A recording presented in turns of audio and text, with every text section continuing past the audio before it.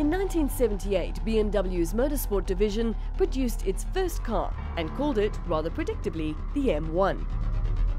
With no less than two propeller badges on the back, the car was in fact only half German. Lamborghini, at the time the leaders in mid-engine supercar design, helped to develop the underpinnings, while the dramatic wedge shape was penned by Giugiaro.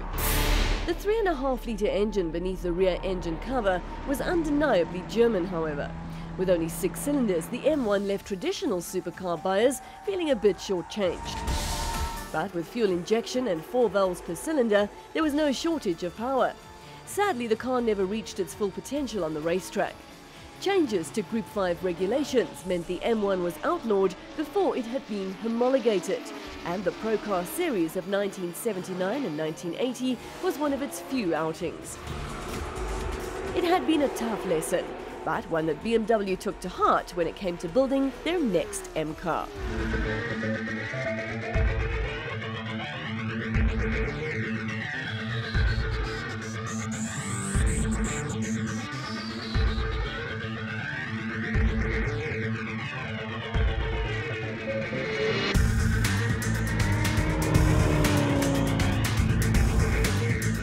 This is the original. Yeah, this is the original uh, German touring car, the M3, with the S14 motor. It was quite a lot different to what you're used to in South Africa, having the E30 325 IS Shadowline. Yeah. They never they never brought these into South Africa. No, no.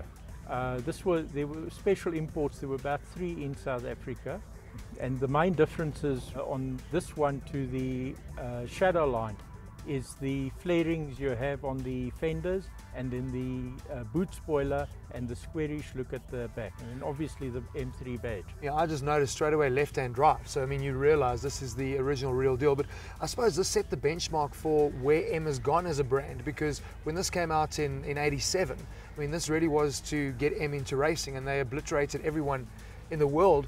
What is it like to drive though? Because there's no traction control, no stability. This is original driving.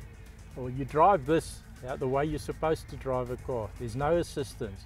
And uh, my best way of describing it is like driving in a go-kart. It sticks to the road and you're driving it. It's your ability which is making a drive. Do you drive it often?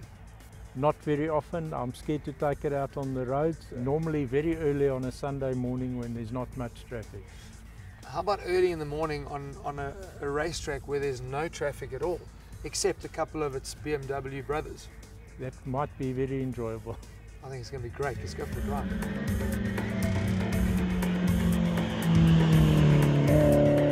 In contrast to its glamorous ancestor, the seemingly humdrum M3 won almost everything it could enter.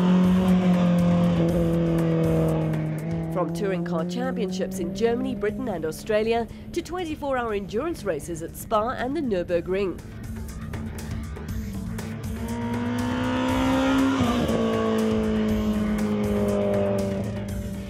Now, more than 20 years later, the E30 M3 still feels at home on the racetrack, its engine easily revving to 8,000 RPM and beyond.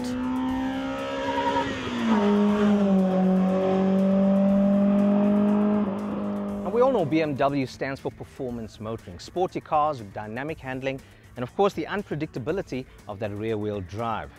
But it just wouldn't be BMW without the kick in the nuts cars, or otherwise known as the M cars.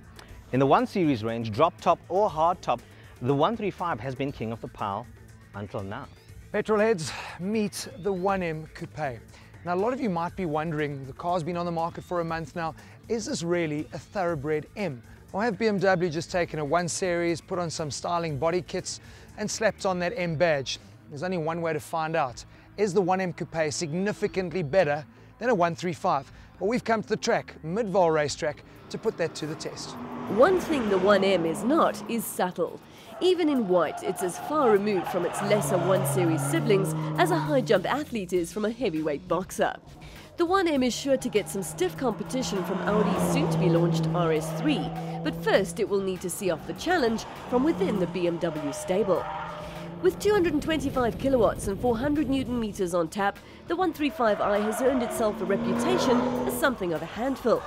Around the track, this seems to be misplaced, as the car handles everything you throw at it with benign ease. Switch off the traction control, especially in the wet, and you'd be looking for trouble. But even in convertible guise and with automatic transmission, the 135 is a lot of fun. Which means the 1M Coupe will have to be a whole lot better. Well, I tell you what, you get into this after going for a little spin in that original M3. Dimension and size wise, there's not much to choose from between the two cars, but what is going to stand out is literally just the level of refinement. It's actually insane in a way, sad though, because you really lose that raw feel of driving the car that you get when you're sitting in that M3. But this 1M Coupe is, is really unbelievable. I've been driving the 135 now, and the thing you're going to notice first is what I'm going to do right now. Back of the straight here, you can literally jump on the brakes. The brakes are phenomenal, and that is truly M spec. I mean, the brakes, different size discs, uh, cross drilled as well. So your braking power compared to a 135 is significant. Under the skin, the 1 Series M shares a lot of DNA in common with the M3. I mean, from the competition chassis, the suspension bits, brakes, transmission. It's got a completely reworked exhaust. It's got a new air intake manifold. And of course, all of this translates into a ridiculously quick car. The other thing, you're not fighting for grip all the time because they've also gone huge in terms of the track. 154 front and rear Whereas if you look at the 135s, you've got a 1-0 track at the back. So you're going to find this car is just ferocious in terms of its grip. It's got 265s at the back as well, so it's never ever going to give up, which is literally amazing. Very easy to unsettle it actually when you have everything off, traction control, Alice is off.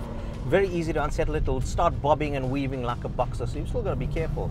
Because you think the back's going to want to break, but it actually, it's, uh, it's inspiring. You feel the back going before it does and it gives you plenty of time just to lift off and, uh, and control that slide. It really is a sweet, sweet car. Until now, the 135 was certainly the benchmark in the 1 Series range, but this 1 Series M Coupe just takes it up a notch higher. This is not just some reskinned 1 Series. They haven't just gone and put a sport body kit on. This is built from the ground up to be an M. An M means immense power, immense braking, immense handling immense fun.